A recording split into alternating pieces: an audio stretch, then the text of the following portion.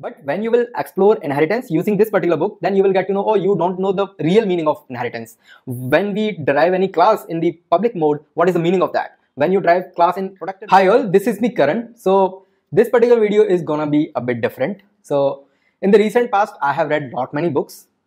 So you can see here, this is one of the books around C++. This is one of the books around blockchain.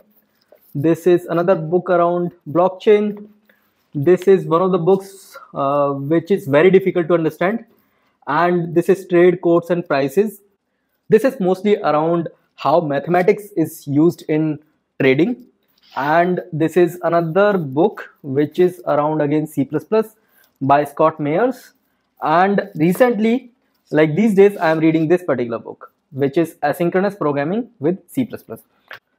So in this particular video I'll talk about one of the books which I read long back. And this book is by Scott Meyers. And the name of this book is Effective C++ 55 Specific Ways to Improve Your Programs and Design.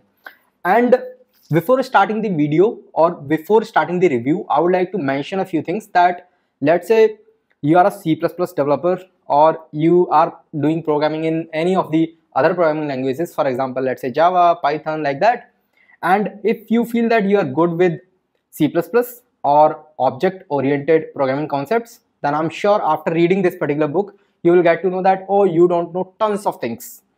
How things can be done in a completely different way. How compiler interpret things internally. How how our system behaves when we use virtual functions or virtual destructor inside our code. So those kind of things you will get to know. So if i talk about a few specific things. For example uh, inheritance. So inheritance is one of the simplest things to understand in any of the programming languages. But when you will explore inheritance using this particular book then you will get to know oh you don't know the real meaning of inheritance. When we derive any class in the public mode what is the meaning of that? When you derive class in protected mode what is the meaning of that? What is the meaning of when you derive any class in a private mode so when you will go through this particular book, then you will go get to know oh, what is the real meaning of inheritance. And another example I can provide you is a virtual destructor. So a lot many times we are supposed to use virtual destructor in our code. But in what kind of circumstances we should use virtual destructor, in what kind of cases we should not use virtual destructor, and how those are going to impact the performance of the system. So you will get to know in and out of uh, all such things. And at the same time, uh, in our code, we frequently use interfaces. Why interfaces are important? And I'm not saying all these things just because I have read this particular book. Instead, I genuinely feel like if you feel you are good with OOPS concept, just go through this particular book. You will get to know that you don't know lot many things, things about object-oriented programming concepts. So uh, if I have to recommend one of the books to any of the programmers, be it a beginner level programmer or an experienced level programmer, then I'll highly suggest reading this particular book and not just reading. Instead, when you are going through this particular book, then take your laptop or computer and whatever examples are there, just implement them in your own favorite programming languages by using the concepts provided in this particular book.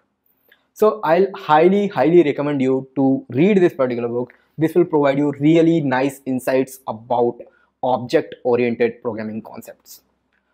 So I hope this book will be really, really helpful for you and you will try to explore this. And I'm sure the price of this book is not uh, that much. So you can easily get it from Amazon or Flipkart like that within like 600 or 700 uh, INR.